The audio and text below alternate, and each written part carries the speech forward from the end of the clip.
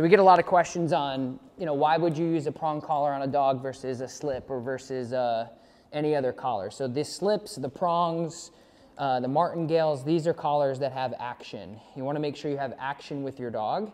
I'm just going to switch to a slip collar just to show you, or a slip leash just to show you what this looks like. And we have these slip leashes on our website listed in the description below.